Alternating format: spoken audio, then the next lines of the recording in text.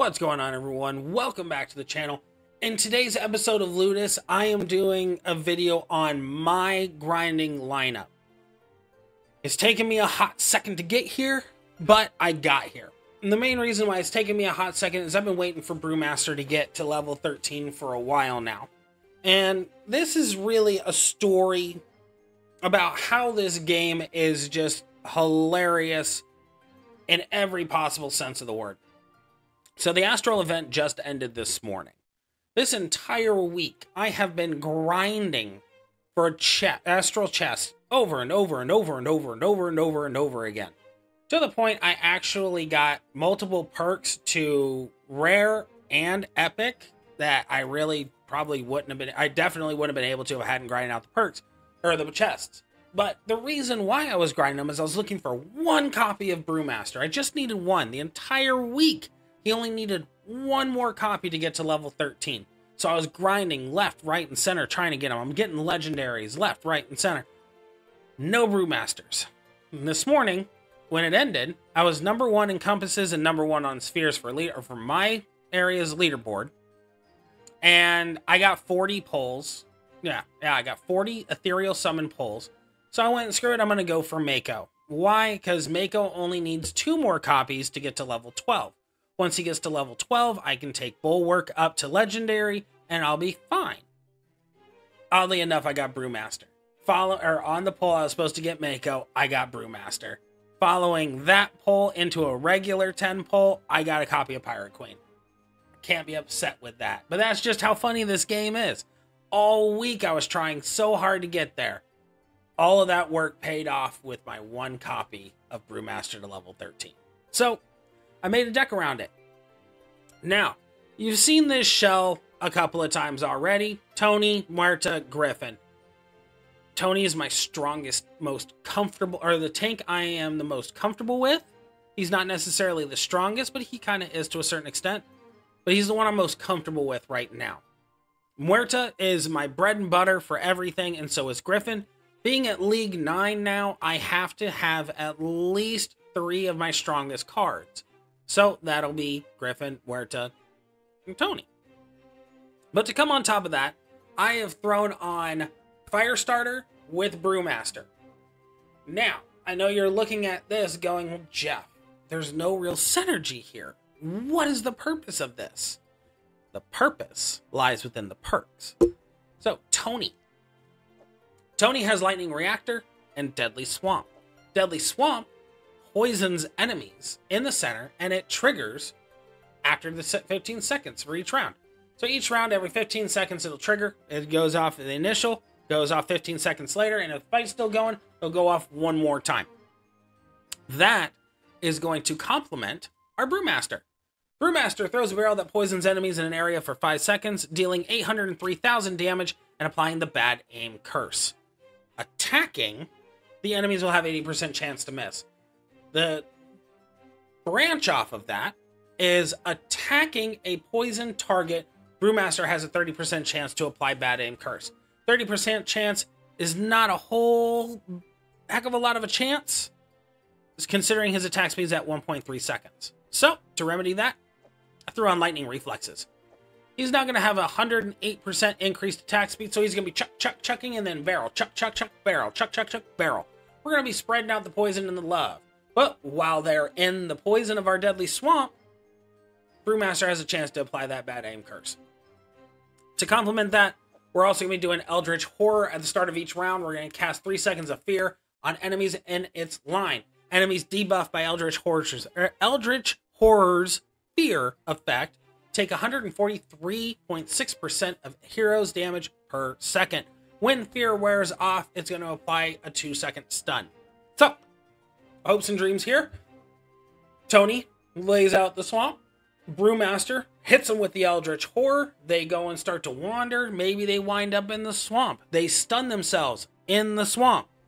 Brewmaster is hitting them left, right, and center, applying the bad aim curse cutting down kitsunes, griffins, tech golems, any other uh, Tonys, Pirate Queen, basically anything in the front row that's going to go right in that swamp.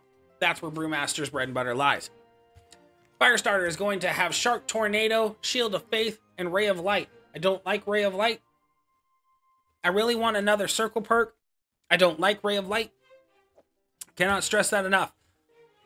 At the start of each round, allies immediately flanking the hero gain regeneration for 10 seconds, recovering 8.2% of, hero, of HP. Cool. I don't like it. I just don't. It's not a high enough percent of HP for me. I just don't like it. But it'll fit. It's better than having a blank spot. Shield of Faith. Let's talk about it. So, I underestimated Shield of Faith. When I first saw it, I thought it was garbage.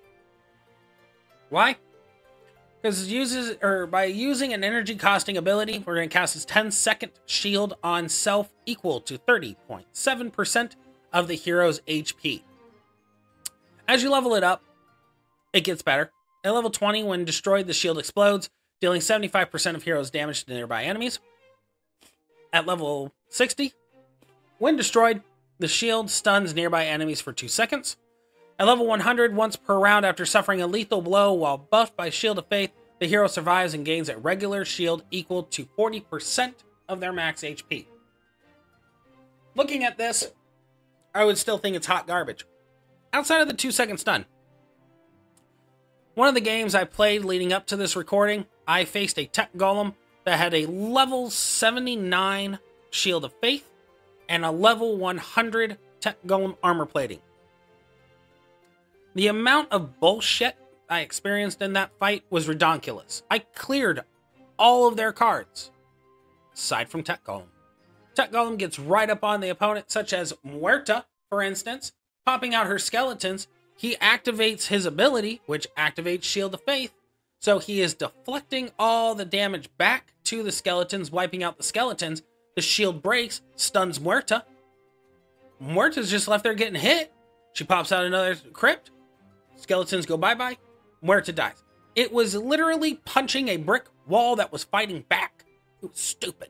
But something I'm going to be working towards because it was a lot of fun. So, Shield of Faith is actually going to go up to level 60 here soon, but it is a perk I am recommending after level 60. Level 60 and up is when it's viable. Level 59 and down, take it or leave it. It's really only on here because Griffin has the our armor plating, Muerta has the bulwark, Tony has the reactor, and Panda has scorched earth. So it's going on a fire starter because not or having a perk there is better than no perk at all.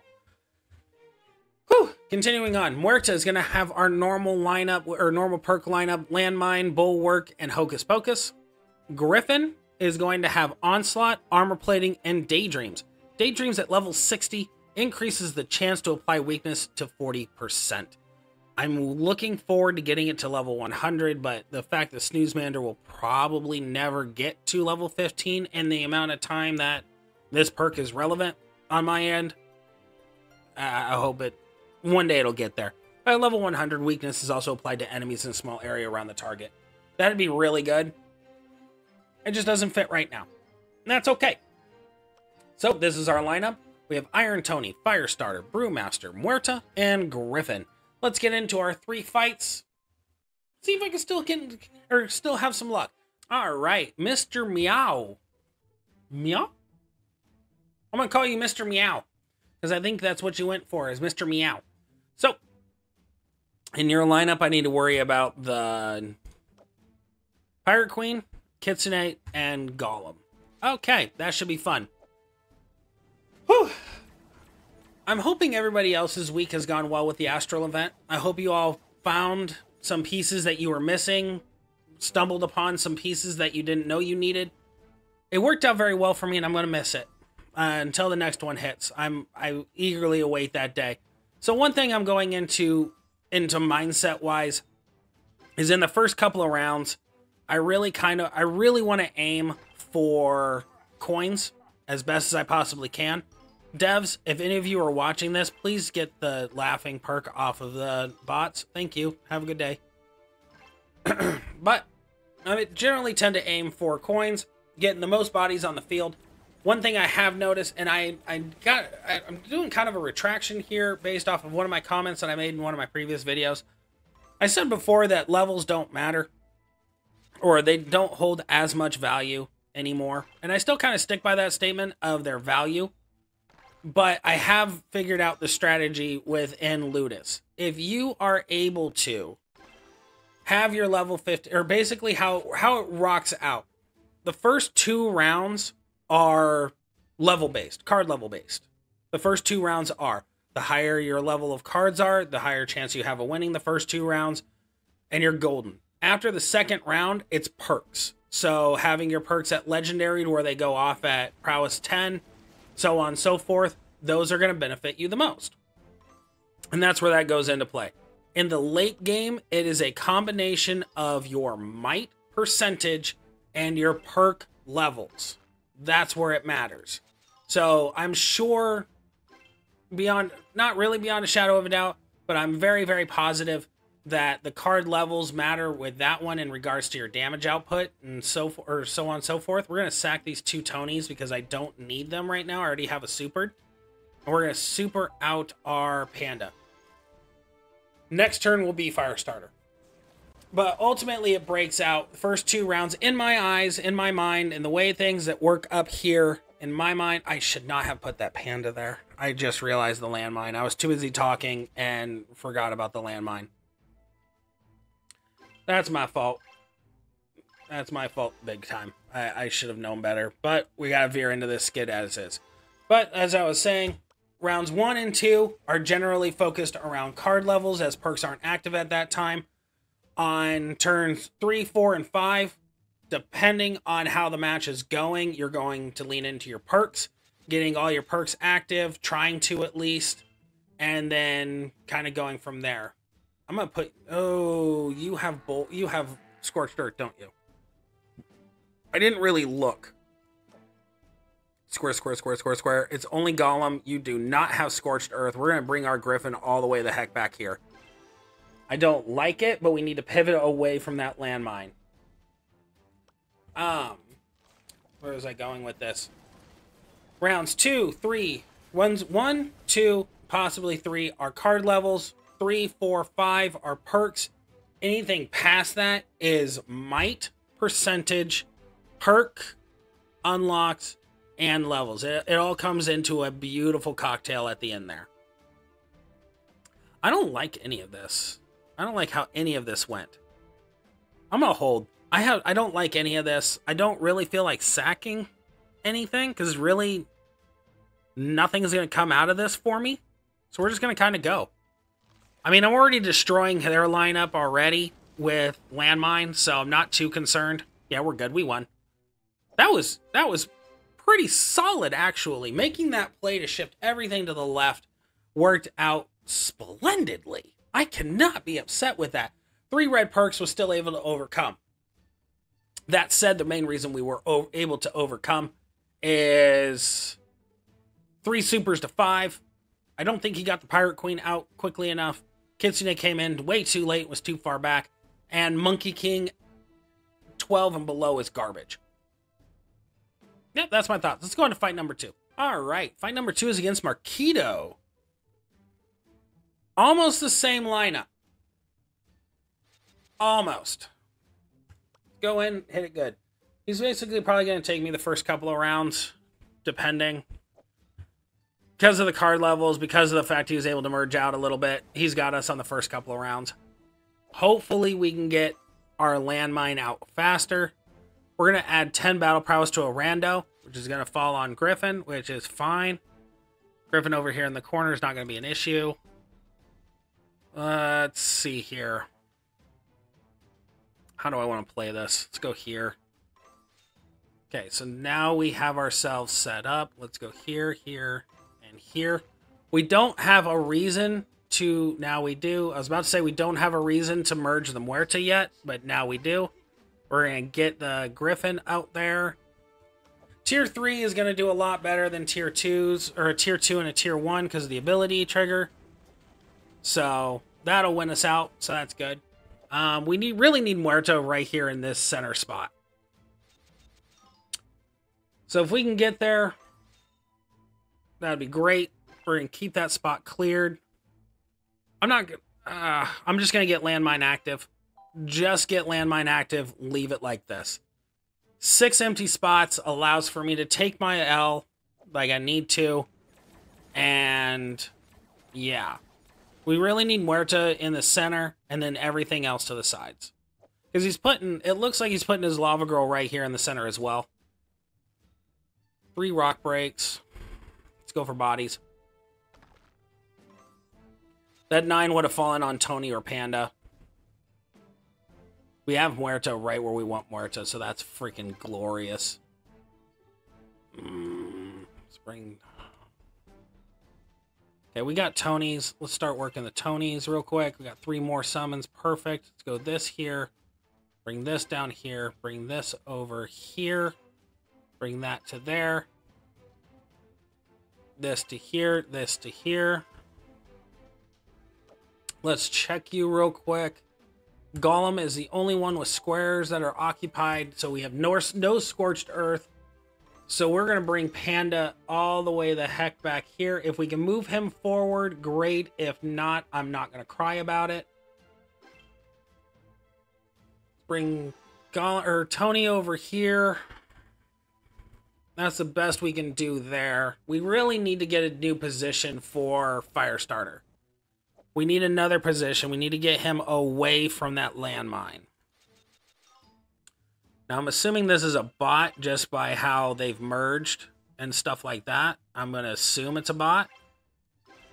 Bots generally tend to stick to the same patterns as where their tier 3s land. That's generally where they're going to keep their supers.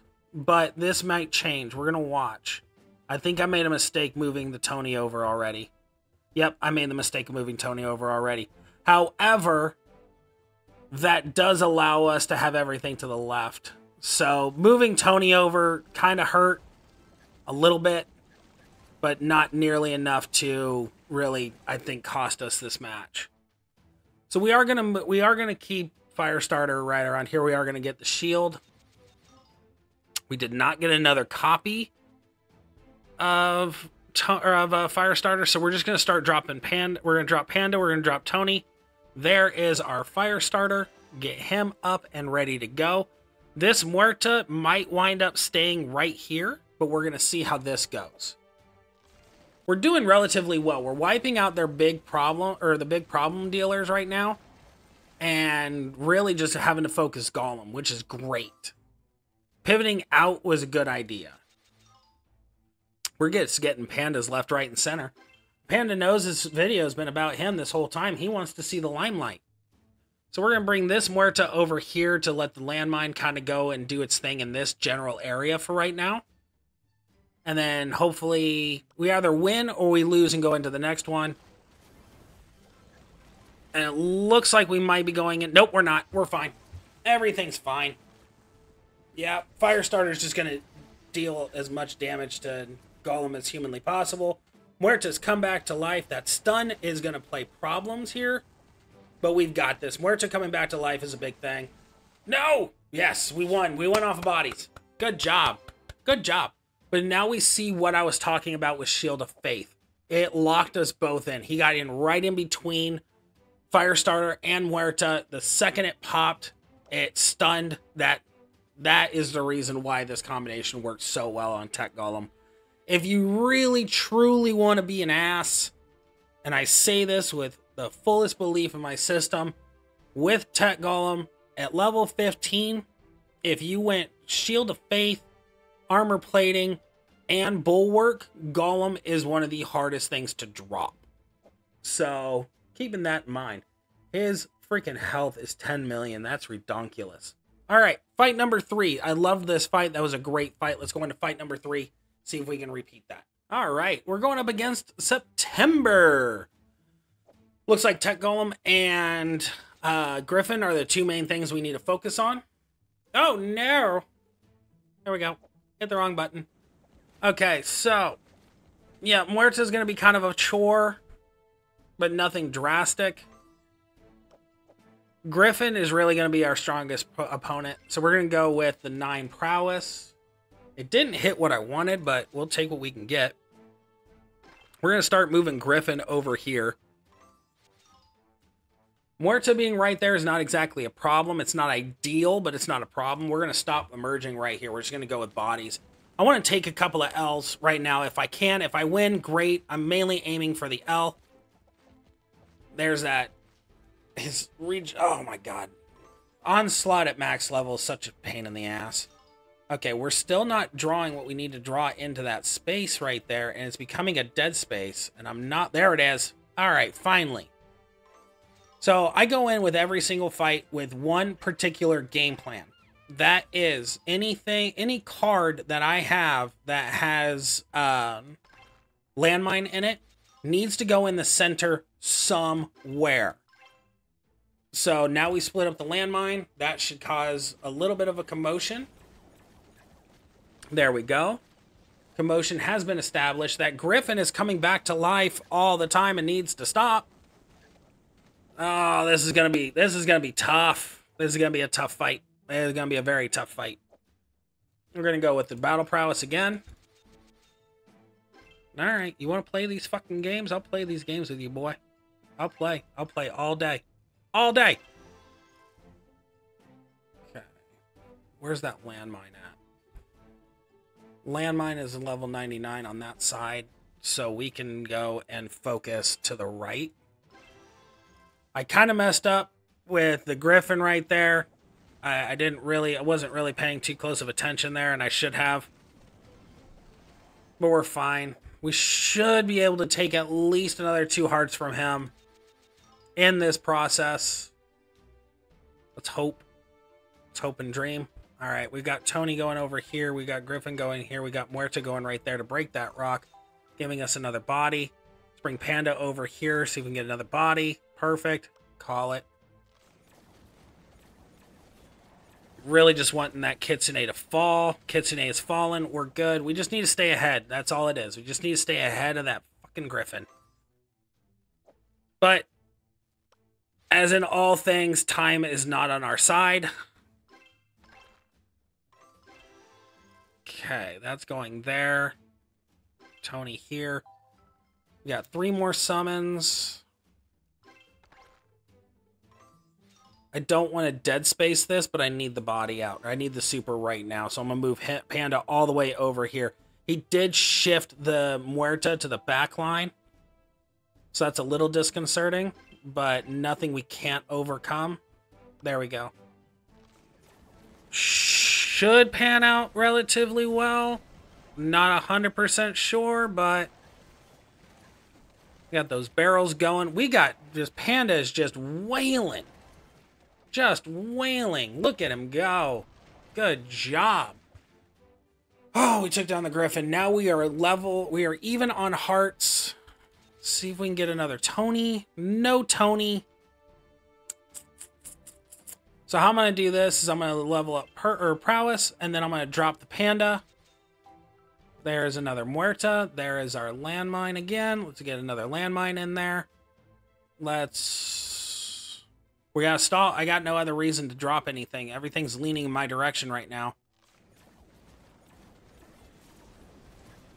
Luckily, our Griffin is putting in the work. Got him. This is phenomenal. This lineup is working out really well. We're going to go with attack speed instead of adding 9 battle prowess. The battle prowess would go to Firestarter, which could pay out... The attack speed just seems too good, but also the health regen. Let's go. Let's go with attack speed. Go with your gut feeling. Go with the gut instinct. Stick with the gut instinct. Okay, so we're gonna go here, here, here, and here. We're gonna drop Firestarter and Tony. We got our Griffin, so there's our other, there's our second Griffin. This is locked now. We should be fine. Should be fine. Now, famous last words, you know what I mean? We're golden. We took him. We're good. Heck yeah. That was beautiful. Took ourselves away from the landmine. Got ourselves in a great positioning across the board, going wide instead of consolidating down. That took them out. That was wonderful. Oh, absolutely wonderful. 130 million damage from us to their 88. We had one extra super. Base. We spent more coin. that was fantastic. Needless to say, from these three fights, you can see why this lineup is now my grinding lineup. I will be climbing the ladder. My goal is to be top 100 and top 50 at the end of every single season. Every single one, I need to be top 100 or top 50, and that's what the aim is. That's what the goal is. That's what's going to be accomplished. So, if you guys are enjoying this content, please like, share, and subscribe. Tell your friends about me. We were getting so close to 200 subscribers, something I never thought I would say. And I'd love to see the day that we get there and higher. The main goal for this channel right now, hold on one second. main goal for this channel right now is to get to the height where which I can live stream and make these videos on a day-to-day basis and bring more and more enjoyment to people if I can and I'm going to. So those are the goals, those are the dreams. So I'm going to leave you the same way I always do. Life can be fun. You allow it to be. See you next time.